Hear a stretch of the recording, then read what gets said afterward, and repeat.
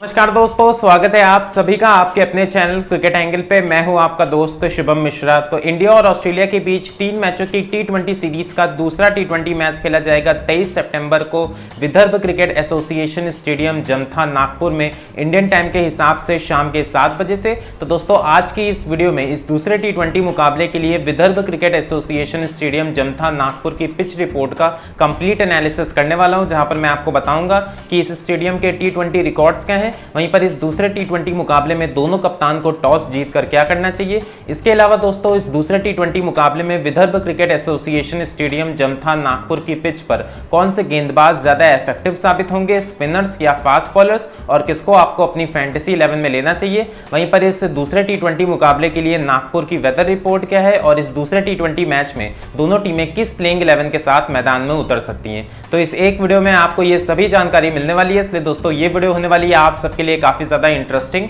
और इन्फॉर्मेटिव इसे लास्ट तक ज़रूर देखिएगा। लेकिन वीडियो में आगे बढ़ने से पहले आप सबसे बस इतनी सी रिक्वेस्ट है कि अगर आप हमारे चैनल पर पहली बार विज़िट कर रहे हैं तो हमारे चैनल को सब्सक्राइब करके नोटिफिकेशन बेल ऑन कर दे ताकि आपको क्रिकेट और आईपीएल से जुड़ी ऐसी इंटरेस्टिंग वीडियोस और अपडेट्स लगातार मिलती रहे। तो दोस्तों, हम सबसे पहले बात कर लेते हैं दूसरे टी मुकाबले के लिए नागपुर की वेदर रिपोर्ट के बारे में। तो जो वेदर फोरकास्ट निकल कर आई है, इस मुकाबले के लिए वो अच्छी है, जहाँ पर बारिश की फोरकास्ट नहीं है। अगर हम टेम्परेचर्स की बात कर ले तो जो मैक्सिमम टेम्परेचर है, वो 27 डिग्री सेल्सियस फोरकास्ट किया गया है। इसके अलावा जो मिनिमम टेम्परेचर है, यानी कि इवनिंग के टाइम जब ये मुकाबला होगा, तब ट्वेंटी डिग्री सेल्सियस फोरकास्ट किया गया है। वहीं पर दोस्तों, ये भी फोरकास्ट की गई है कि मुकाबले के दौरान आपको ज़्यादातर क्लाउडी कंडीशन देखने को मिलेंगी। एट्टी क्लाउड कवर फोरकास्ट किया गया है, लेकिन जो सबसे अच्छी बात है, वो ये है कि बारिश की जो संभावना है, वो मात्र 25 परसेंट है, जो कि बहुत ही ज़्यादा कम है। तो ऐसे में दोस्तों, आपको ये मुकाबला बिना किसी इंटरप्शन के पूरा देखने को मिलेगा।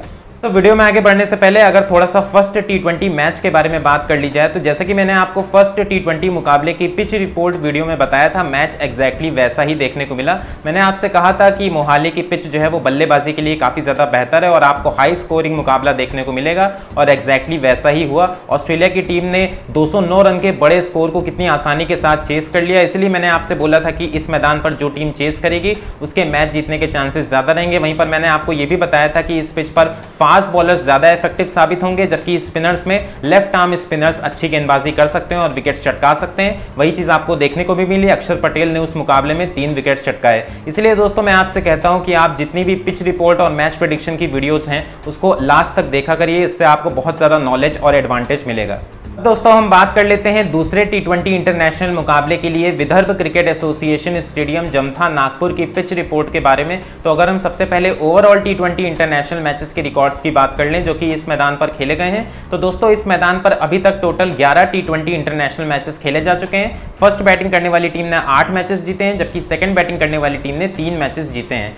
एवरेज फ़र्स्ट इनिंग्स का स्कोर 151 रन का रहा है, जबकि एवरेज सेकंड इनिंग्स का स्कोर 128 रन का रहा है। तो दोस्तों, आप इन overall T twenty international matches के स्टैट से देख सकते हो कि नागपुर की पिच पर जिस टीम ने पहले इनिंग्स में बैटिंग करी है, उस टीम को ही ज़्यादा एडवांटेज मिला है और उस टीम ने ही ज़्यादातर मुकाबले जीते हैं। क्योंकि दोस्तों, इस पिच पर फ़र्स्ट इनिंग्स में बैटिंग के लिए कंडीशन अच्छी रहती हैं, लेकिन जैसे जैसे मैच आगे बढ़ता जाता है, ये पिच बल्लेबाजी के लिए मुश्किल होती चली जाती है, क्योंकि पिच लो एंड स्लो हो जाती है। सेकेंड इनिंग्स में बल्लेबाजी करना काफ़ी ज़्यादा कठिन हो जाता है। इसलिए दोस्तों, यहाँ पर जो टीम पहले बल्लेबाजी करती है, वही टीम ज़्यादातर मुकाबले जीतती है। इसके अलावा आपको ओवरऑल एवरेज इनिंग्स के स्कोर भी कम नज़र आ रहे हैं। इसका मतलब यहाँ पे बहुत ज़्यादा हाई स्कोरिंग मुकाबले आपको देखने को नहीं मिलते हैं। ज़्यादातर जो मुकाबले होते हैं वो मीडियम स्कोरिंग मैचेस ही होते हैं। मतलब फ़र्स्ट इनिंग्स के जो स्कोर हैं, वो आपको 160 या 170 के आसपास ही देखने को मिलते हैं, जो कि काफ़ी ज़्यादा अच्छा स्कोर माना जाता है फ़र्स्ट इनिंग्स में। और इतना स्कोर चेस करना इस पिच पर काफ़ी ज़्यादा मुश्किल साबित होता है। पिछले मुकाबले में आपने देखा था कि मोहाली के पिच पर आपको एक हाई स्कोरिंग मुकाबला देखने को मिला था, लेकिन यहाँ पर आपको एक मीडियम स्कोरिंग मैच ही देखने को मिलेगा।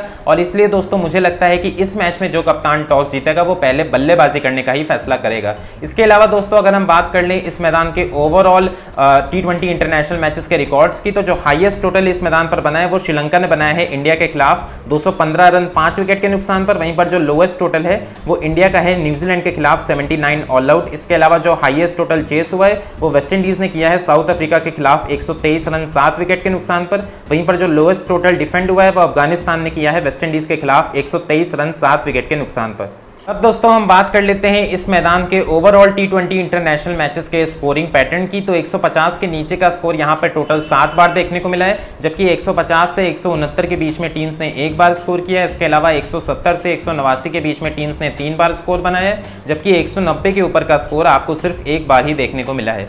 तो ये जो overall T twenty international matches के स्कोरिंग पैटर्न है, ये भी आपको क्लियरली बता रहे हैं कि ये हाई स्कोरिंग वेन्यू नहीं है। यहाँ पर जितने भी मैचेस हुए हैं, वहाँ पे आपको ज़्यादातर फ़र्स्ट इनिंग्स के जो स्कोर है, वो 150 के नीचे ही बनते हुए नज़र आए हैं। इसका मतलब यहाँ पर ज़्यादातर जो मुकाबले होते हैं, वहाँ पर आपको मीडियम स्कोरिंग मैचेस देखने को मिलते हैं। हालाँकि दोस्तों, इस मुकाबले में मैं एक्सपेक्ट कर रहा हूँ कि आपको जो फ़र्स्ट इनिंग्स का स्कोर है, वो एक सौ सत्तर के आसपास बनता हुआ नज़र आ सकता है। और अगर इतना स्कोर फ़र्स्ट इनिंग्स में बन जाएगा तो दोस्तों, जो टीम फ़र्स्ट इनिंग्स में बैटिंग करेगी, उसके मैच जीतने के चांसेस काफ़ी ज़्यादा रहेंगे। इसके बाद दोस्तों हम बात कर लेते हैं इस मैदान पर खेले गए recent T twenty international matches के रिकॉर्ड्स की। तो जो पिछले पाँच टी ट्वेंटी इंटरनेशनल मैचेस इस मैदान पर खेले गए हैं, उनमें से चार मैचेस फ़र्स्ट इनिंग्स में बैटिंग करने वाली टीम ने जीते हैं, जबकि सिर्फ़ एक मैच सेकेंड इनिंग्स में बैटिंग करने वाली टीम ने जीता है। इसके अलावा एवरेज फ़र्स्ट इनिंग्स का स्कोर 134 रन का रहा है, जबकि एवरेज सेकेंड इनिंग्स का स्कोर 108 रन का रहा है। तो दोस्तों, आप इन last five T twenty international matches के स्टैट से भी देख सकते हो कि इस पिच पर जो टीम पहले बल्लेबाजी कर रही है,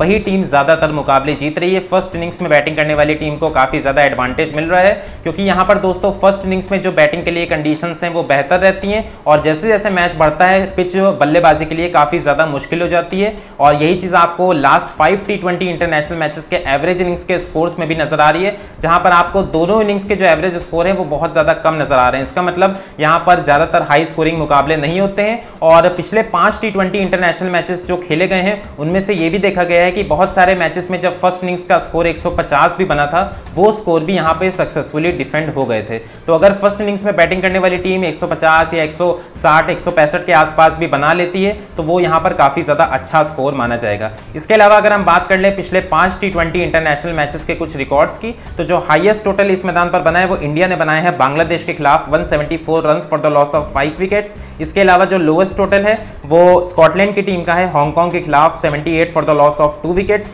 highest total जो चेस हुआ है, वो वेस्ट इंडीज ने किया है साउथ अफ्रीका के खिलाफ 123 run for the loss of seven wickets इसके अलावा जो लोएस्ट टोटल डिफेंड हुआ है, वो अफ़गानिस्तान ने किया है वेस्ट इंडीज के खिलाफ 123 रन सात विकेट के नुकसान पर। दोस्तों, हम बात कर लेते हैं कि दूसरे टी ट्वेंटी इंटरनेशनल मुकाबले में Vidarbha cricket association stadium Jamtha Nagpur की पिच पर कौन से गेंदबाज ज़्यादा इफ़ेक्टिव साबित होंगे? स्पिनर्स या फास्ट बॉलर्स तो दोस्तों, जो पिछले पाँच टी ट्वेंटी इंटरनेशनल मैचेस इस मैदान पर खेले गए हैं, अगर हम उनके रिकॉर्ड्स की बात कर ले तो टोटल 38 विकेट्स फास्ट बॉलर्स ने लिए हैं, जबकि 30 विकेट्स स्पिनर्स को मिले हैं। राइट आर्म फास्ट बॉलर्स ने 33 विकेट लिए हैं लेफ़्ट आर्म फास्ट बॉलर्स को पाँच विकेट मिले राइट आर्म ऑफ़ स्पिनर्स ने नौ विकेट लिए राइट आर्म लेग स्पिनर्स को तेरह विकेट मिले और लेफ़्ट आर्म स्पिनर्स ने टोटल आठ विकेट्स लिए हैं। तो आप इन last five T twenty international matches के स्टैट से क्लियरली देख सकते हो कि जो नागपुर की पिच है, यहाँ पर तेज गेंदबाज हो या फिर स्पिनर्स हो, दोनों के लिए मदद है, दोनों तरीके के गेंदबाज इस पिच पर इफ़ेक्टिव साबित होंगे। क्योंकि दोस्तों, यहाँ पर हमें बॉलिंग फ्रेंडली पिचेस ही नज़र आती हैं, इसलिए ज़्यादातर हाई स्कोरिंग मुकाबले नहीं होते हैं। अगर हम फास्ट बॉलर्स की बात कर ले तो वो तेज गेंदबाज इस पिच पर इफ़ेक्टिव साबित होते हैं, जो अपनी गति में मिश्रण करते हैं वेरिएशन का इस्तेमाल करते हैं, जैसे कि स्लोअर डिलीवरीज ज़्यादा फेंकते हैं, क्योंकि यहाँ पर पिच मैच जैसे जैसे आगे बढ़ता जाता है, काफ़ी ज़्यादा स्लो हो जाती है तो बल्ले पर उतनी अच्छी तरीके से नहीं आती ऐसे में दोस्तों, जो मीडियम फास्ट बॉलर्स हैं वेरिएशंस वाले, वो इस पिच पर ज़्यादा विकेट चटका सकते हैं। इसके अलावा अगर हम स्पिनर्स की बात कर लें तो चाहे लेफ़्ट आर्म स्पिनर्स हो या फिर राइट आर्म लेग स्पिनर्स हो, उनके लिए भी इस पिच से काफ़ी ज़्यादा मदद रहेगी स्पेशली सेकेंड इनिंग्स में जब इस पिच पर आधा मैच हो जाएगा, तब ये पिच स्पिनर्स के लिए और भी ज़्यादा हेल्पफुल साबित हो सकती है। ऐसे में दोस्तों, मेरा आपको ओवरऑल सजेशन यही रहेगा कि अगर आप फैंटेसी इलेवन बना रहे हैं तो आपको अपनी प्लेइंग इलेवन में फास्ट बॉलर्स और स्पिनर्स दोनों को इंक्लूड करना चाहिए और आप तीन दो के कॉम्बिनेशन के साथ जा सकते हो, जहाँ पर आप तीन फास्ट बॉलर और दो स्पिनर्स को अपनी फैंटेसी इलेवन में रख सकते हो। दो स्पिनर्स में आप एक राइट आर्म लेग स्पिनर और एक लेफ़्ट आर्म स्पिनर के साथ जा सकते हो। वहीं अगर हम फास्ट बॉलर्स की बात कर ले तो आपको उन तरीकों के फास्ट बॉलर्स को ज़्यादा लेना है, जो अपनी गति में वेरिएशन का इस्तेमाल ज़्यादा करते हैं और मीडियम फास्ट बॉलर्स हैं। दोस्तों, हम बात कर लेते हैं दूसरे टी मुकाबले के लिए दोनों टीमों की एक्यूरेट प्रेडिक्टेड प्लेइंग 11 के बारे में। तो अगर हम सबसे पहले ऑस्ट्रेलिया की प्रेडिक्टेड प्लेइंग 11 के बारे में बात कर लें तो ऑस्ट्रेलिया की टीम ने पहले टी मुकाबले में इंडिया के द्वारा दिया गया 209 रन के बड़े लक्ष्य को भी बड़ी आसानी के साथ चेस करते हुए सभी को चौंका दिया। और इतनी शानदार जीत के बाद मुझे नहीं लगता कि अपनी प्लेइंग इलेवन में कोई भी बदलाव करने वाले हैं, क्योंकि पहले टी मुकाबले में ऑस्ट्रेलिया की टीम ने जिन चीज़, जिस चीज़ को भी ट्राई किया, वो उनके लिए काम करी। जैसे कि ओपनिंग में कैम कैमरॉन ग्रीन को भेजना मास्टर स्ट्रोक साबित हुआ।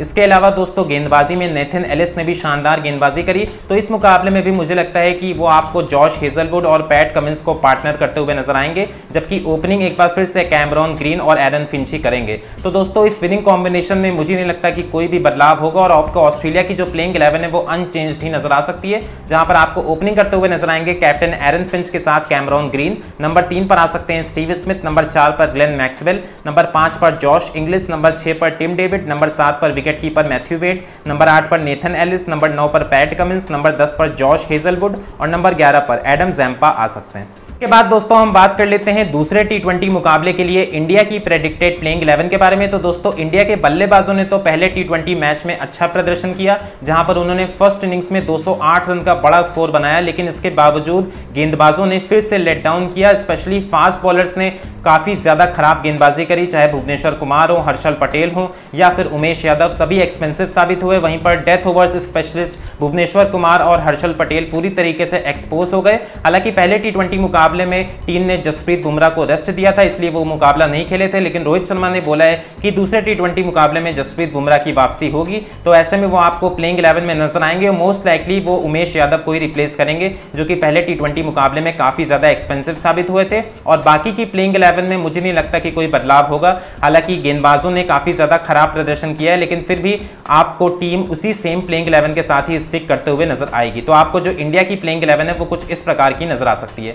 ओपनिंग करते हुए आपको नज़र आएँगे कैप्टन रोहित शर्मा के साथ के राहुल नंबर तीन पर आ सकते हैं विराट कोहली नंबर चार पर सूर्य कुमार यादव नंबर पाँच पर दिनेश कार्तिक जो कि विकेट कीपर है नंबर छह पर हार्दिक पांड्या नंबर सात पर अक्षर पटेल नंबर आठ पर हर्षल पटेल नंबर नौ पर भुवनेश्वर कुमार नंबर दस पर जसप्रीत बुमराह और नंबर ग्यारह पर युजवेंद्र चहल आ सकते हैं। फ्रेंड्स, ये रहा दूसरे टी ट्वेंटी इंटरनेशनल मुकाबले के लिए Vidarbha cricket association stadium, Jamtha Nagpur की पिच रिपोर्ट का कंप्लीट एनालिसिस आई होप कि आपको ये वीडियो पसंद आई होगी। अगर आपको ये वीडियो पसंद आई है तो उसे लाइक करें, अपने दोस्तों के साथ शेयर करें और आप हमारे चैनल को ज़रूर सब्सक्राइब करें। वहीं पर दोस्तों, आप हमें नीचे कमेंट बॉक्स में ये ज़रूर बताएँ कि पूरा पिच रिपोर्ट का एनालिसिस देखने के बाद आपको किस टीम की प्लेइंग इलेवन ज़्यादा मज़बूत नज़र आ रही है और आपके हिसाब से कौन सी टीम ये दूसरा टी इंटरनेशनल मुकाबला जीतेगी। इसके अलावा क्रिकेट मैचेस की फैंटेसी प्लेइंग इलेवन वहीं पर क्रिकेट से जुड़ी हर छोटी बड़ी न्यूज़ से। सबसे पहले अपडेटेड रहने के लिए आप हमें टेलीग्राम चैनल पर ज़रूर ज्वाइन कर लें। टेलीग्राम चैनल का लिंक आपको वीडियो के डिस्क्रिप्शन बॉक्स में मिल जाएगा। सो so फ्रेंड्स मिलते हैं आपसे किसी नई और इंटरेस्टिंग वीडियो में। Till then